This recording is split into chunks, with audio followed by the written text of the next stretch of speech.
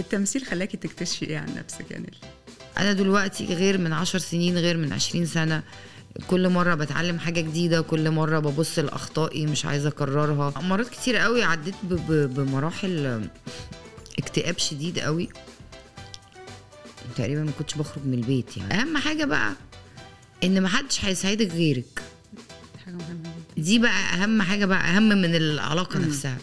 لازم طول الوقت تشتغلي على انت بتحبي إيه وايه اللي مريحك. وفي ناس كتير قوي بتعدي علينا ما يستاهلوش ان انت تشربي معاهم كوبايتين شاي.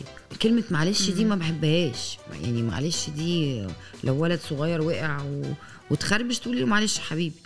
لكن في حياه دي مش كلمة تنصحي بيها معلش. إيه النصيحة اللي ممكن تديها لأي واحدة بتمر بالتجربة دي النهارده؟